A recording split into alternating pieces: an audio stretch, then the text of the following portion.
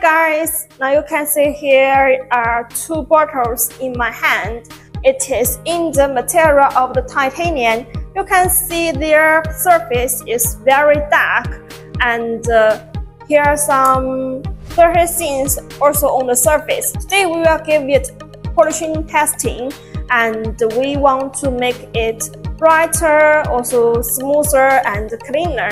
Now let's see the effect together. Okay, now the bottle polishing process has been finished. You can see the effect is very obvious. The surface is smoother and brighter. Also, we couldn't see the dirty things on the surface anymore.